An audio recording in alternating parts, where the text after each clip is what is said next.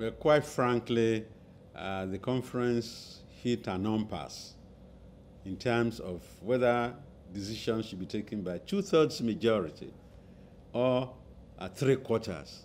Uh, it was our understanding that uh, the North, loosely so defined, was given the assurance that they could exercise a power of veto on decisions at the conference through the 75% rule because they not believe that they've been shortchanged and they believe that two-thirds was going to favor uh, non-northern interests. My view really is that even two-thirds will have been difficult to arrive at because what the president was harping on was consensus.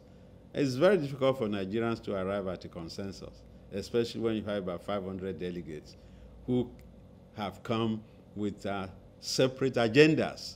So quite sincerely, I think we had a devil's choice. And the conference had to save uh, uh, itself from the threat of uh, conflagration by constituting what they call the 50-man committee, uh, what otherwise known as Committee of Friends of the Chairman, uh, as they were called, or which some of us called uh, 50 wise men. I think there are some women there, who now forged that arrangement uh, of 70% as a via media, as a halfway house between 75 and 66 two-thirds. Mm. So it's still very mathematical. But I think, uh, I hope and pray and wish that reason will prevail, that as much as possible, we'll be able to engineer uh, a consensus, uh, just like you have uh, in the United Nations, where the favored way of decision making in the UN is by consensus. But Nigerians are hard bargainers. So it might actually bring us to a cul-de-sac. We might not be able to arrive at anything if we go strictly by uh, the standing orders. Okay, just before you went for the national conference, uh, I think you you were not opposed to national conference, but you were opposed to one that will not be sovereign. But uh, now you have found yourself there. What's what motivation did you have going in for something that is not sovereign in the first place? Well, my view was that uh, we have to seize the moment, uh, see whether if we shake the tree, certain fruits might fall uh, for the masses. Uh, we wanted a sovereign national conference, I agree. But uh, the fact that Jonathan was reluctantly compelled to now say, let's have a confab, uh, was a moment which we felt we should not let pass. Okay? So one uh, was caught in between Scylla and Charybdis, uh, what people would say between a rock and a hard place. Uh, I was personally caught on the horns of a dilemma. And uh, the way I became a delegate is what compelled me uh, not to decline to be the spokesperson for my people, as the politicians would say. Or maybe in the interest of the public, we want to know the way you became a delegate. well, uh, I had it on good authority that I was suggested to be on the federal government list, but the powers that be felt that uh, I was not an ideal candidate uh, for the federal government list. But then I got a call from my governor who suggested that uh, I should go and represent my senatorial district, that's Ekiti North, and that uh, the governors in the West had decided that the Yoruba people must put their best feet forward, that we should not bring the Yoruba third 11. And with such a request from my governor, who is very cerebral and who also uh, knows political savvy, I said, okay, well, we'll give it a shot. And we had, by the way, a summit in Ado Ekiti uh, about six weeks ago on what should be the Ekiti agenda at that conference. So we are not just going there uh, with an empty mind. And I'm aware also of the Yoruba agenda, uh, which is over 300 pages. It's almost like a doctoral thesis. They had meetings uh, in Ibadan where the Yoruba agenda for the conference was adopted. In fact, I, will, I make bold to say that the Yoruba contingent is probably uh, the most uh, tested and the most prepared in terms of paperwork. And we have constantly uh, technical papers being forwarded to us from America, from Europe, through the ages of what is called the Yoruba Academy. I don't know if you are aware of the Yoruba Academy. People say that Nigeria's unity is non-negotiable. Mark Twain said that only two things are non-negotiable in life, death and taxes. Every other thing in between can be negotiated. It's my firm belief that Nigeria's unity needs to be renegotiated because we were brought together by Lord Lugard and British colonialism without any mandate from our people. Uh, it's a caricature relationship that was hammered into existence, and 100 years later, I think is perfectly fit and proper for Nigerians or their representatives to interrogate at the basis of the federation. Because right now, uh, what you have is a mismatch which does not answer uh, the tenets of true federalism. And then there are urgent matters afflicting the Nigerian uh, Federation, which we have to disentangle. And that's why I think uh, the talking shop that we're engaged in might prove to be more than a talking shop. If it can come up with uh, a formula that will rescue uh, what is actually a failing state. Nigeria has not entirely failed, but I think Nigeria is a failing state. And if we don't want Nigeria to fail, we have to do the needful to rescue uh, the tottering ship of Nigeria on the high seas. That is the position we are in right now. Hmm. Uh, uh, now that you are in the talking shop to adopt a phrase, uh, is it the Yoruba agenda that Nigeria should change its name at this point? Because we understand you're now pressing for change of name for Nigeria after 100 years of our coexistence. Well, I must uh, confess that it's not part of the Yoruba agenda. In fact, some delegates uh, were miffed by my suggestion. They wondered why a Yoruba person should suggest a name like Songhai for Nigeria, which has bears uh, closer affinity to northwest of Nigeria. Uh, it was uh, in the effort to reinvent the country. You see, President Jonathan charged us to suggest novel ideas for remaking and recreating Nigeria. And when it came to my turn, towards the end, nearly everything that I wanted to say had been said. And I did not just want to sound like a broken gramophone record. So I now thought of something different from what we had heard previously. And I remembered uh, what uh, the late uh, parliamentarian, when I was in Form 1 in 1960, but I heard of Dr. Kalu Ezera, who had suggested in 1960 that Nigeria should change to Songhai. Because, you know, the great empires in West Africa, you had Guinea, you had Ghana, you had Mali, and then you had Songhai. Nkrumah on the 6th of March 1957 changed the colonial name of Gold Coast to Ghana and focused the attention of Ghanaians on the new entity.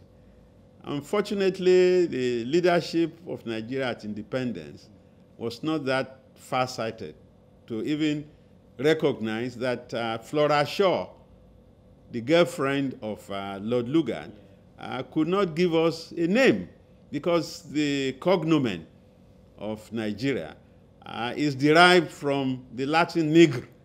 Nigr is black. It is from nigr that we got negro. And now, in fact, the racists now call us niggers.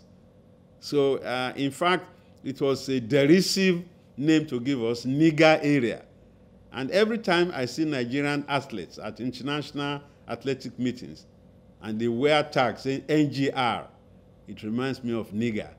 And if even in America where rednecks, racists, are now afraid to use what is called the N word.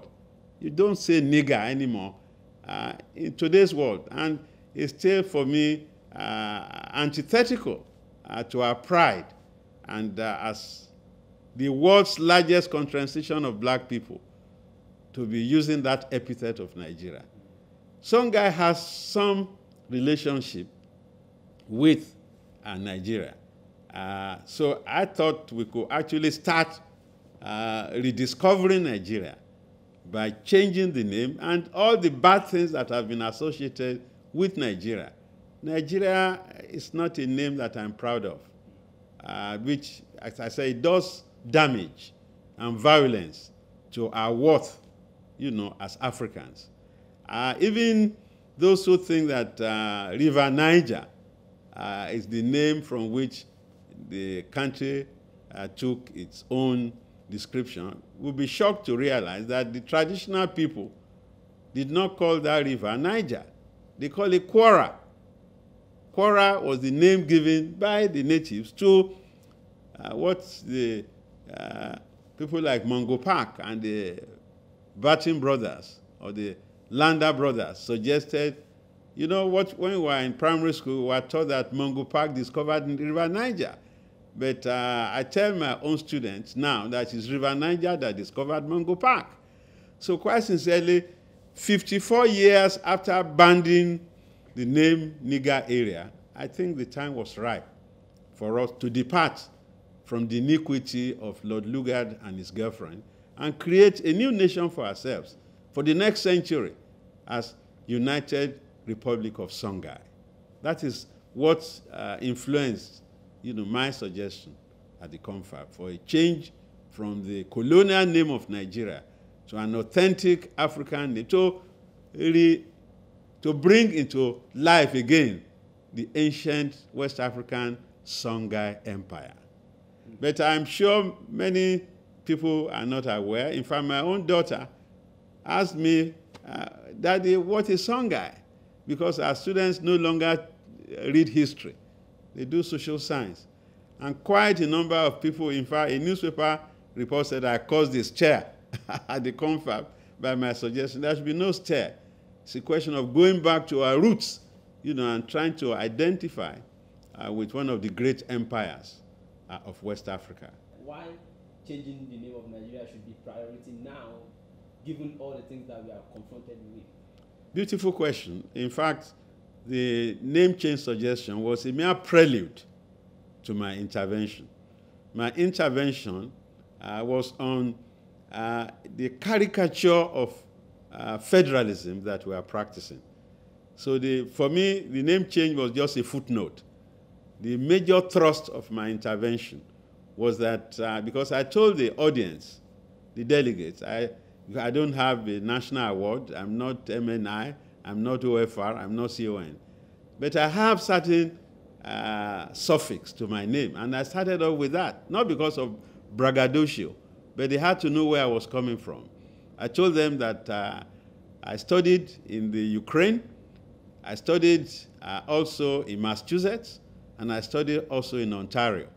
So that I have I've lived and studied in three federations, one of which has been defunct, but don't forget what is happening in Ukraine right now. It's an unfinished business. And if you did not want to suffer the fate of the USSR, uh, that Nigeria had to reconsider and review uh, the tenets of federalism. In other words, I, can't, I, I asked for true federalism, fiscal federalism, decentralization, what you call devolution, and that we have to revisit the deleterious aspects of federalism that we claim to be practicing. I told the audience that the military killed off federalism because militarism and federalism are odd bedfellows. The centralized command structure of the soldiers uh, was antithetical to the notion of federalism because federalism envisages some division of powers between the federal government and the constituent units. You might call them states. In Canada, they are called provinces in the old Soviet Union, they were republics. It's, it does not really, really matter what name you give the constituent units. But we have to reconfigure in order, as I said, to give Nigeria or Songhai, if you will, a new lease of life. And so there are all sorts of things that we have to review and disentangle. So we are, we are just warming up to go to the real business of the confab. So the, all, the, all I did was a mere foretaste of what is in the offing. But the papers carried change of name as if that was all I spoke about. Mm. But no regrets, not at all. And it makes it very important. Not only that, you see, Kalu Ezera, as I said, uh, had just come back with degrees uh, from Ivy League universities in America and a PhD from Oxford. He was a member of the Federal House of Representatives in 1960. Very far-sighted and enlightened political scientist. But then he was talking to an audience that was not prepared for the message because we didn't have an Nkrumah in Nigeria. The Ghanaians, you can see the focus that Nkrumah gave his people. We lacked that focus in 1960. And my belief, honest belief, is that 54 years thereafter, perhaps we can revisit that issue. I don't think I've committed any crime by suggesting that we change the name of Nigeria to the United uh, Republic of Songhai. Perhaps it will not be taken seriously. Well, I don't know. I don't know. People, there are so many skeptics and so many cynics and so many people who felt that, uh, uh, what, what, what, what's this prof saying now? Is it, an, is it an issue? They said they are happy to be called uh, nigger area. But some of us, we reject uh, that uh, cognomen because it does grave injustice to our sense of pride as Africans. Mm, let's cap it with this. Uh, you already, uh, you know, ascribed the ongoing confab as talking shop. It is. Uh, but uh, do you? But you're still going regardless. Uh, like tomorrow, I understand your flight is in the morning. You're going to the confab again. Uh, do you see anything coming out of it from this talking shop after all? Well, between us, uh, we just have to be optimistic. Uh, we keep hope alive that you never know. Let's go there and shake the tree, as I said, whether some fruits will fall.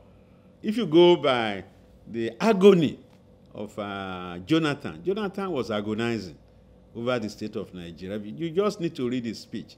And he threw the gauntlet back at uh, the delegates. And some of us decided we have to pick up the gauntlet and push as hard a bargain as we, we can in order to recreate, reinvent, and reestablish a country that will survive. Nigeria now is tottering. We are at the precipice. And if we don't want Nigeria to collapse, because we are being buffeted, Boko Haram in the north, uh, kidnappers in the east, ritualists in the west, you can see that things are not wholesome in Nigeria. And we can't run away from what is happening. The Fulani are cutting heads and burning houses in the Middle Belt. Anybody who pretends that everything is hunky-dory in Nigeria doesn't know what he's talking about. We are really spending, shall I say, the last throes of the existence of a moribund formation.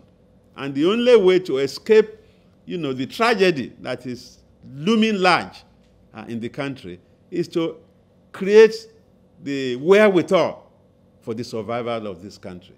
I said previously in an interview that I gave to you that we are five minutes to midnight. And I think the, the, the clock has moved about three minutes now to midnight. But, and you can see people have a lot of hope and confidence. They are earnestly waiting for what will come out of that conference. Strikers want to come, except that the security is so tight to even enter the premises. It's very difficult. So all those who wanted, who have abandoned the National Assembly because they see a future more in the confab than at the three arms zone in Abuja. And that's the truth. Majority of Nigerians are following the debate with keen anticipation that something good and positive will come out of the proceedings. So I share their optimism, but then I'm a realist because really it's a talking shop. It has no uh, law setting it up. In other words, I said that we're embarking on a journey without a compass. But it might well be that Jonathan will be able to pull out a rabbit uh, from his hat, as I said, because right now the conference is facing uh, an identity crisis in terms of, even when you look at some of the people who are there, who were accused of having brought Nigeria to where it is, uh, the young people are angry that even people like me, as a young old man, that uh, my time is past. Uh, the youth want to go there, but I think we have to be balanced. There are a few young people there, but I agree the overwhelming majority of the delegates are beyond the, their prime. But as I said, let us just uh, be optimistic. But as I said, uh, it's Nigeria's last chance we are the last bus stop, if you ask me, this particular conference. Because if you don't get things right at this conference, I shudder to contemplate uh, the consequence. I think it's going to be more bad news. This is the real last opportunity for Nigerians to reinvent their country and themselves.